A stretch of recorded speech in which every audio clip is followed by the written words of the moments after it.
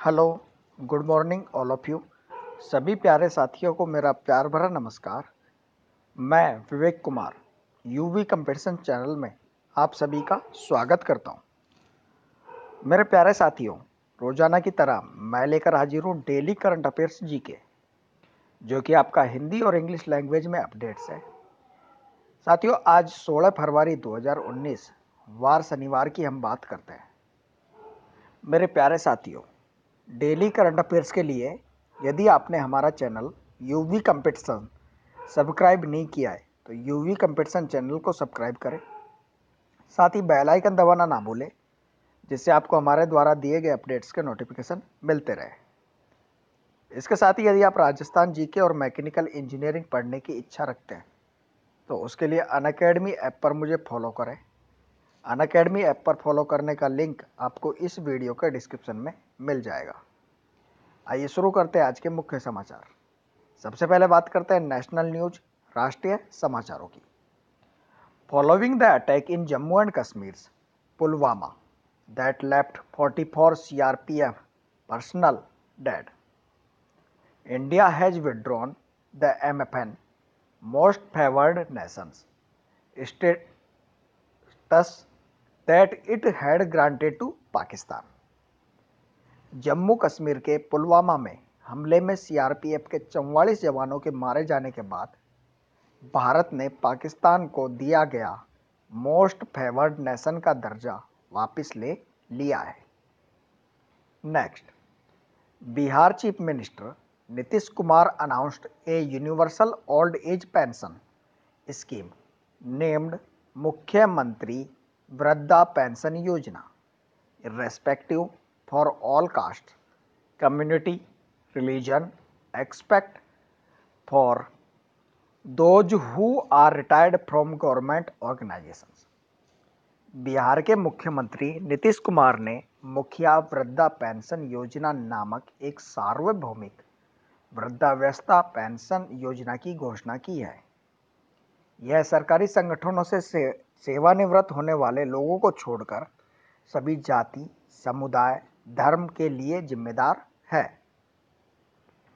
next the Indian government has signed a deal with the US under fast track procurement to avail the Indian army with 72,400 new Sig Sauer assault rifles which will overhaul the Army's inventory of frontline rifles.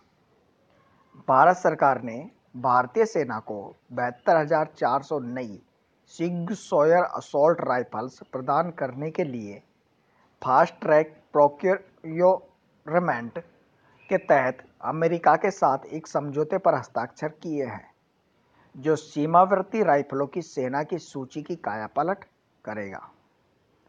Next, India and the United States held India-US Commercial Dialogue and India-US CEO Forum in New Delhi. Union Minister for Commerce and Industry and Civil Aviation Suresh Prabhu chaired the meeting Bharat और America ने नई दिल्ली में Bharat US वाणिज्यिक संवाद और Bharat US CEO forum आयोजित किया। केंद्रीय वाणिज्य और, और उद्योग और नागरिक उड्डयन मंत्री सुरेश प्रभु ने बैठक की अध्यक्षता की है। Next Pradhanmantri Shram Yogi Maandhan was rolled out by the ministry of labour and employment from 15 February 2019 the scheme announced in the अंतरिम budget was notified by the ministry recently Pradhanmantri Shram Yogi मानधन को 15 February 2019 से श्रम और रोज़गार मंत्रालय द्वारा शुरू किया गया है। अंतरिम बजट में घोषित योजना को हाल ही में मंत्रालय द्वारा अधिसूचित किया गया है। देश के असंगठित क्षेत्र में बयालीस करोड़ श्रमिकों को के शामिल होने का अनुमान है। आइए बात करते हैं अपॉइंटमेंट्स नियुक्तियों की। Appointments committee of cabinet ACC has appointed senior IRS officer Pramod Chandra Modi as chairman of Central Board of Direct Taxes CBDT.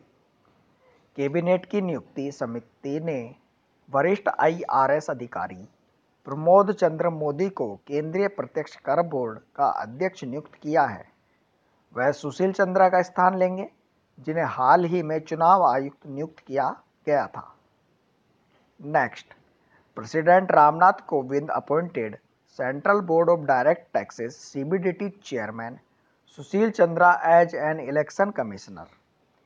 The post had fallen vacant after the appointment of the then election commissioner Sunil Arora as chief election commissioner on superannuation of his predecessor O P Rawat in December two thousand eighteen Ramnath राष्ट्रपति रामनाथ कोविंद ने केंद्रीय प्रत्यक्ष कर board के अध्यक्ष सुशील चंद्रा को चुनाव आयुक्त नियुक्त किया है।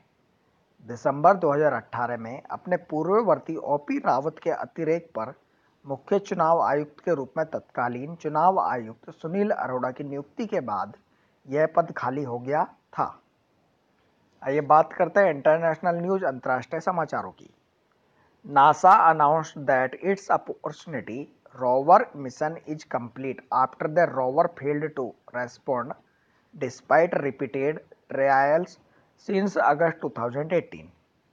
The space agency inferred that a planet handling dust storm cut off communications with opportunity on June 10, 2018, disabling its solar panels from storing power.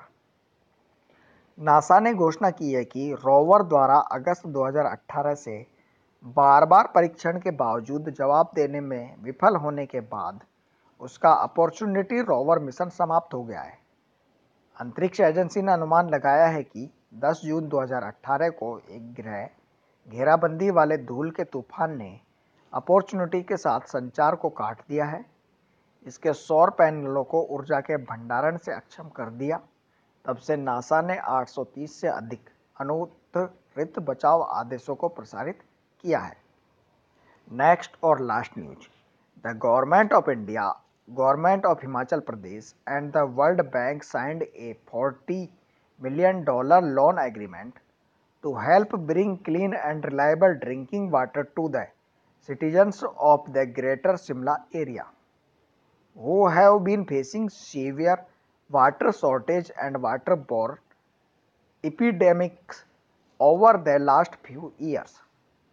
Bharat सरकार, हिमाचल प्रदेश सरकार और विश्व बैंक ने ग्रेटर शिमला क्षेत्र के नागरिकों को स्वच्छ और विश्वसनीय पेयजल प्रदान करने में मदद करने के लिए 40 मिलियन डॉलर के ऋण समझौते पर हस्ताक्षर किए हैं यह पिछले कुछ वर्षों में पानी की गंभीर कमी और जल जनन की महामारी का सामना कर रहे हैं तो मेरे प्यारे साथियों, ये थे आज के मुख्य समाचार जो कि आपका करंट अफेयर्स है। यदि आपको हमारे वीडियोज़ पसंद आते हैं तो लाइक करें। जो भी आपकी क्वेरी है, जो भी क्वेश्चन है, वो कमेंट बॉक्स में डालें। यूवी कंपटीशन चैनल को और हमारे वीडियोज़ को शेयर करना ना भूलें और साथ ही साथ यूवी कंपटीशन चैनल को सब्सक्राइब ज़रूर करें। Thank you so much. धन्यवाद। आपका दिन शुभ हो।